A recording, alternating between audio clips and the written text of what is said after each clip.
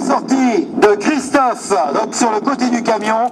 Applaudissez-le très très fort parce que croyez-moi, il est vraiment très très haut, tout là-haut. Et pour les cascadeurs de l'équipe qui ont réalisé ce genre de croyez-moi, il y en a certains qui, euh, qui nous ont révélé après euh, ce numéro, je ne pensais pas quand même qu'on était si haut. Ça c'est des dires de, de cascadeurs que, que l'on a dans l'équipe qui ont, qui ont essayé ce numéro. C'est vrai que tour à tour, eh bien, c'est pas forcément toujours les, les mêmes cascadeurs qui font, qui font les numéros. J'ai un jour qui m'a dit, je pensais quand même pas être si haut. Il avait l'habitude de monter sur les, sur les voitures.